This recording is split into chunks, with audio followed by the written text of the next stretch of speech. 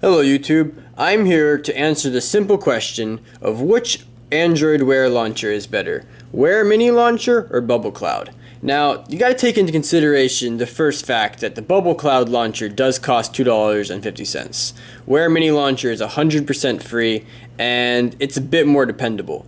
But once you get past that, the Bubble Cloud launcher obviously looks a bit better. It kind of catches people's eye and it looks a bit like the Apple Watch, which you can't even pre-order yet. So it's pretty exciting.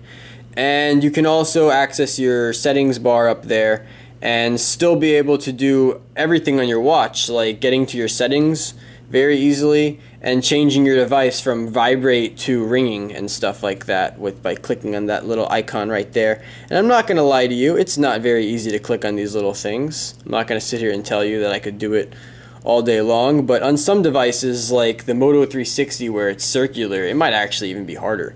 So I think I'm actually got it pretty good here with the Asus ZenWatch, but for the Wear Mini Launcher, you can launch it just by taking your thumb and dragging on the left side of the screen, and there it is. I have uh, all my apps right here, which I can easily click on in 100% accuracy. I can click on it and know I'm going to click on it.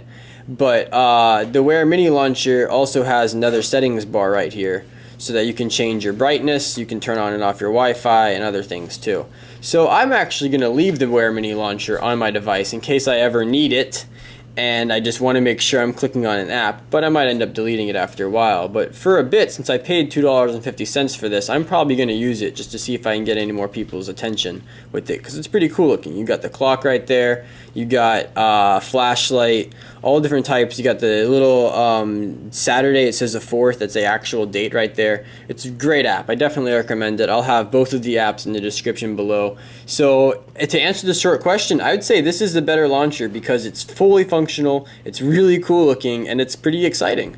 So definitely check it out, guys. Thanks for watching. I'm Joey. I like the way you click subscribe.